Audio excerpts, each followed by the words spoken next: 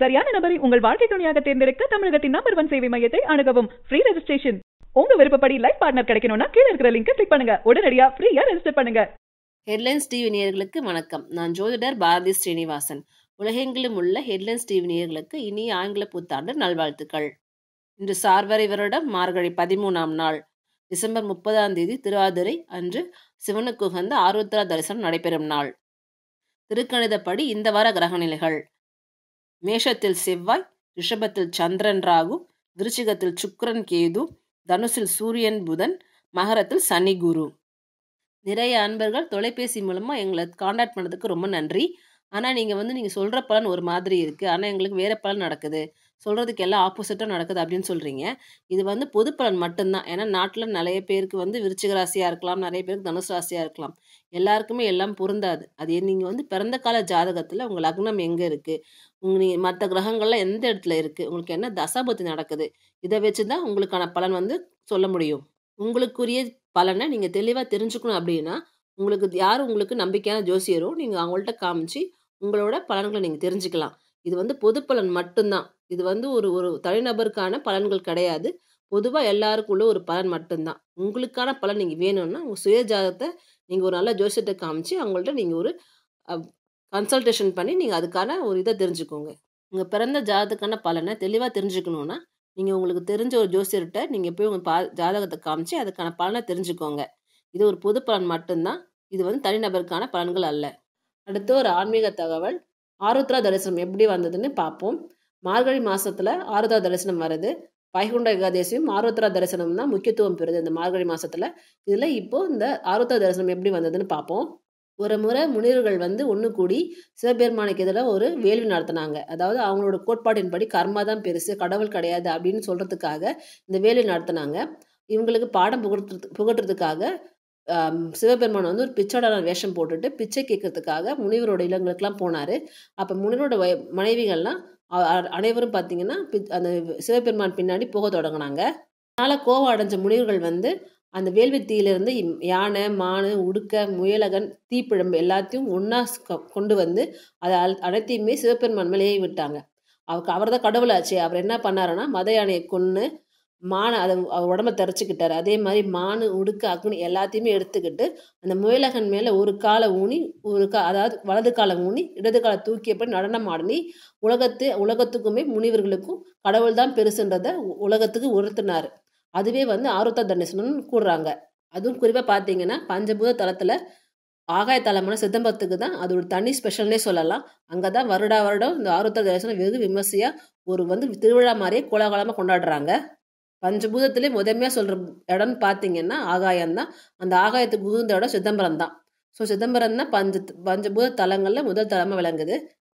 இந்த சிதம்பரம் கோயிலில் பார்த்தீங்கன்னா வருஷத்தில் ஆறு முறை மட்டுமே அபிஷேகம் பண்ணுறாங்க அது மூணு முறை வந்து திதி அன்னைக்கும் மற்ற மூணு முறை வந்து நட்சத்திரத்தை அன்னைக்குமே. அதாவது திருவாதிரை வர அந்த காலகட்டத்தில் ரொம்ப விசேஷமாக அபிஷேகம்லாம் பண்ணுறாங்க அதுவும் ஆருத்ரா தரிசனம் அன்னைக்கு ரொம்ப கோலாகலமாக ஒரு பெரிய ஒரு ஆருத்த தரிசனம் அன்னைக்கு ஒரு பெரிய திருவிழா மாதிரி ரொம்ப கோலாகலமாக கொண்டாடுறாங்க.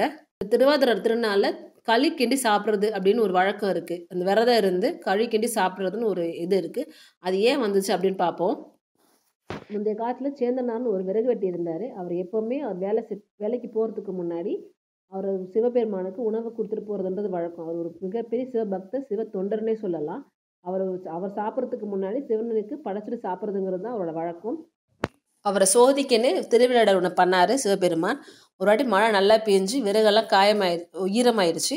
மழை நிறைய பெஞ்சதுனால விற விறகெல்லாம் ஈரமானதுனால விறகு விற்க முடியாமல் வருமானம் இல்லாமல் அந்த சேந்தனார் ரொம்ப கஷ்டப்பட்டார். இதுவும் வந்து சிவன் சிவனோட ஒரு திருவிழா தான். இவரோட புகழை வந்து வெளியுகத்துக்கு சொல்லணுன்றது சேந்தனரோட புகழை வெளியுலகத்துக்கு சொல்லணுன்றதுக்காக ஒரு திருவிழாடல் பண்ணார் சிவபெருமான். அதனால் மழையை வர வச்சு விறகெல்லாம் ஈரமாயிடுச்சு அந்த விறகு ஈரமானதுனால அது வரால் விற்க முடியாமல் போயிட்டு விற்க முடியாமல் போனதுனால அந்த அந்த பணம் இல்லாததுனால சிவபெருமானுக்கு அவரால் உணவு படைக்க முடியல. அதனால் வீட்டு செலவுக்கும் பணம் கொடுக்க முடியாமல் போயிடுச்சு. இந்த கா இந்த காலகட்டத்தில் பார்த்தீங்கன்னா சிவ சிவனடியார் வந்து அதை வந்தார். அந்த சிவனடியார் யாருன்னு கேட்டிங்கன்னா சிவன் தான். சிவன் வந்து சிவனடியார் மாதிரி சேந்தார் இல்லத்துக்கு வந்து பிச்சை கேட்குறாரு அப்போ வந்து அவருக்கு என்ன பண்ணுறதுன்னு தெரியல. அப்போ வீட்டில் இருந்த ஒரு அரிசி மாவு வெல்லம் இதெல்லாம் போட்டு ஒரு களி களி மாதிரி கிண்டி வீட்டில் இருக்கிற ஒரு காய் இருக்கிறத ஒரு ஒரு காயாக போட்டு வீட்டில் மீதி இருந்த காய் ஒன்று ஒன்றா போட்டு ஒரு கூட்டு மாதிரி செஞ்சு அவர் சிவனுடைய பசியை போக்குறார். அப்புறம் பார்த்தீங்கன்னா இரு மறுநாள் கோயிலுக்கு போகும்போது பார்த்தா தான் தெரியுது. அந்த பகவான் கருவறையில் வந்து நேற்று சாப்பிட்ட அந்த களியும் அந்த கூட்டு செதறி கிடந்துச்சு. என்னோட பக்தி எவ்வளோ பெருசு அப்படின்னு அந்த அர்ச்சகர் உணர்றாரு. அந்த அதன் அதன் மூலியமாக அந்த அர்ச்சகர் மூலியமாக அந்த நாட்டு மக்களுக்கு எல்லாமே தெரியுது. சேந்தனார் வந்து இவ்வளோ ஒரு சிவபக்தர் இவ்வளோ பெரிய சிவத்தொண்டர்னு தெரியுது.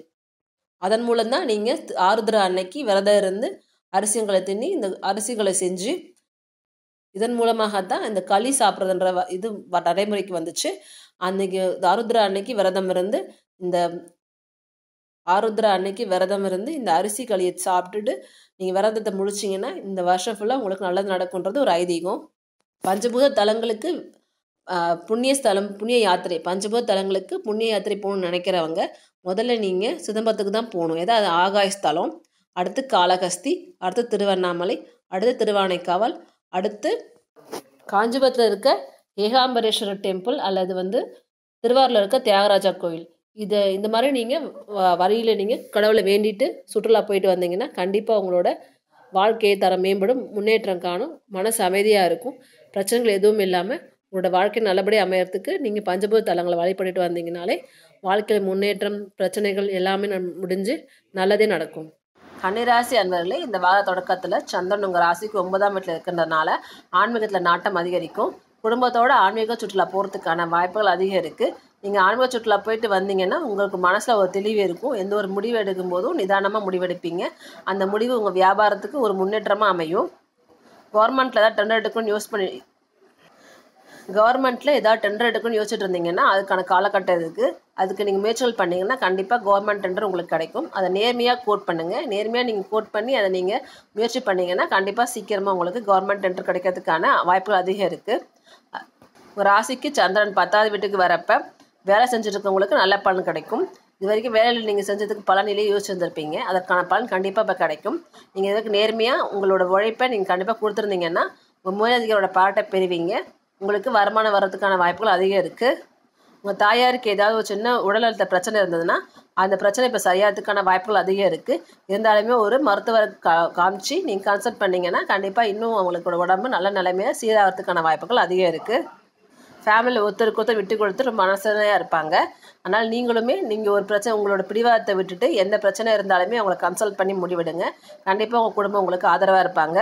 ஒரு ராசிக்கு பதினோரு இடத்துக்கு சந்திரன் வரும்போது உங்கள் சம சமூகத்தில் உங்களோட மதிப்பு உயர்வதற்கான வாய்ப்புகள் அதிகம். நீங்கள் செஞ்சிட்ருக்க சமூக சேவையினால் நீங்கள் ஒரு உயர்ந்த இடத்தை பெறுவீங்க. உங்களுக்கு தொழிலில் ஏதாவது புதிய வாய்ப்புகள் வரதுக்கான வாய்ப்புகள் அதிகமாக இருக்குது ஏதாவது நீங்கள் புதுசாக ஒரு க்ரியேட்டிவாக திங்க் பண்ணணும்னு நினச்சிங்கன்னா அதை முயற்சி பண்ண நினச்சிங்கன்னா அதுக்கான காலகட்டம். கண்டிப்பாக நீங்கள் முயற்சி பண்ணிங்கன்னா அதுக்கான உங்களுக்கு பலன் கண்டிப்பாக கிடைக்கும். வேலையில் இருக்கிறவங்க கொஞ்சம் பார்த்து நடந்துக்கோங்க. உங்கள் மேலதிகாரிட்ட நீங்கள் ஸ்மூத்தாகவே இருங்க. ஒரு யாருக்காவது பிரச்சனைனா நீங்கள் தேவையில்லாமல் தலையிடாதீங்க. ஏன்னா அந்த பிரச்சனைக்கு தலையிட்டிங்கன்னா அது உங்களுக்கே பாதகம் முடியறதுக்கான வாய்ப்புகள் அதிகம் இருக்கின்றதுனால யார் விஷயத்தையும் தலையிடாமல் உங்கள் வேலை என்னவோ அதை மட்டும் பார்த்துட்டு இருந்தீங்கனாலே போதும். இந்த வாரம் உங்களுக்கு நல்லாவே அமையும். காதலிக்கிறவங்களுக்கு இது ஒரு சாதகமான வாரம். நீங்கள் லவ் பண்ணுறது வீட்டில் சொல்கிறதுக்கும் சரியான தரணும். வீட்டில் சொன்னீங்கன்னா அது உங்களுக்கு சக்ஸஸ்ஃபுல் ஆகிறதுக்கு வாய்ப்புகள் அதிகம் இருக்குது இந்த காலகட்டத்தில் படிக்கிற மாணவர்கள் கொஞ்சம் பிரச்சனைகள் சந்திக்கிறதுக்கான வாய்ப்புகள் அதிகம் இருக்குது ஒன்று டீச்சர் சொல்லி தரது உங்களுக்கு புரியாமல் இருக்கலாம். இல்லை நீங்கள் படிக்கும்போது ஏதாவது தடங்கல்கள் ஏற்படலாம். ஆனால் அதையும் மீறி படிக்கிறது தான் சிறந்தது. ஏதாவது உங்களுக்கு பிரச்சனை டவுட்ஸ் இருந்ததுன்னா கண்டிப்பாக நீங்கள் உங்கள் டீச்சர்ஸ் கேட்டு தெளிவு இல்லை உங்கள் உங்களுக்கு உங்கள் அப்பா அம்மாட்ட கேட்டு தெளிவு பண்ணிக்கலாம் நீங்களாக படித்து நினச்சிக்கலாம் அப்படின்னு நினச்சிங்கன்னா கண்டிப்பாக அது ஒரு தோல்வியை தான் தரும். அதனால் நீங்கள் எப்போவுமே கவனமாக படிங்க. ஏதாவது பிரச்சனைகள் இருந்ததுன்னா கண்டிப்பாக அதை டீச்சர்ஸை சொல்லுங்கள் உங்கள் வீட்டில் இருக்கவங்கள்ட்ட சொல்லுங்கள் சொன்னீங்கனாலே போதும் இந்த வாரம் உங்களுக்கு ஒரு நல்ல வாரமாக அமையும். ஒரு ராசிக்கு பன்னெண்டாம் வீட்டில் சந்திரன் இருக்கப்போ நீங்கள் செலவுகளை பார்த்து செய்யணும். ஏன்னா தேவையில்லாத செலவுகளை செஞ்சீங்கன்னா உங்கள் வருமானம் வந்துட்டு இருந்தாலுமே அந்த செலவுக்கே சரியாக போயிடும். அதனால் நீங்கள் எவ்வளோ வருமானம் வருது எவ்வளோ செலவு பண்ணுறன்றத கணக்கு பார்த்து செலவு பண்ணுறது நல்லது. அப்போ தான் நீங்கள் சம்பாதிக்கிற பணம் உங்கள் கையில் நிற்கும் இல்லைன்னா என்ன செலவு பண்ணுறோன்னு தெரியாமே செலவுகள் பாட்டுக்கு அது பாட்டுக்கு போய்கிட்டே இருக்கும். அதனால் எந்த வருஷம் செலவு பண்ணுறதுக்கு முன்னாடி இது தேவையான செலவு தானா? ரொம்ப அத்தியாவசியமான தே செலவா? அப்படின்னு யோசித்து நீங்கள் பார்க்கணும். இல்லைன்னா நீங்கள் இது வரைக்கும் சம்பாதிச்ச பணத்தை தேவையில்லாமல் இழக்கிறதுக்கான வாய்ப்புகள் அதிகமாக இருக்குது வெளிநாட்டில் பிஸ்னஸ் பண்ணுறவங்க வெளிநாட்டில் வேலை இருக்கிறவங்களுக்கு இந்த வாரம் ஒரு நல்ல வாரமாக அமையும். நீங்கள் எதிர்பார்த்த பலன் கிடைக்கிறதுக்கான வாய்ப்புகள் அதிகம். பிஸ்னஸ் பண்ணுறவங்களுக்கு வருமானம் அது எதிர்பார்த்ததை விட அதிகமாக வரலாம். வேலை செய்கிறவங்களுக்கு இன்க்ரிமெண்ட் கிடைக்கலாம். பதவி உயர்வும் கிடைக்கலாம். அதனால் வெளிநாட்டில் வேலை பார்க்குறவங்களும் இந்த காலகட்டம் ஒரு சிறப்பான காலகட்டமாகவே அமையும். திருமணமாக கணிராசி அன்பர்களுக்கு திருமணமாகறதுக்கான வாய்ப்புகள் அதிகம் இருக்குது அதனால் நீங்கள் வரம் திட முயற்சிங்க. இந்த காலகட்டத்தில் வரம் திட முயற்சிங்கன்னா அது தை மாதத்தில் திருமணம் ஆகிறது கண்டிப்பான வாய்ப்புகள் அதிகம் இருக்குது திருமணமான கணிராசி அன்பர்களுக்கு குழந்தை பிறக்கான வாய்ப்புகள் அதிகம் இருக்குது குழந்தை பிறப்பு மூலமாக உங்கள் வீட்டில் ஒரு சுப நிகழ்ச்சி நடக்கிறதுக்கு அதிகமாக இருக்குது உங்கள் வீடு சந்தோஷமான மனநிலைமை பெறும்.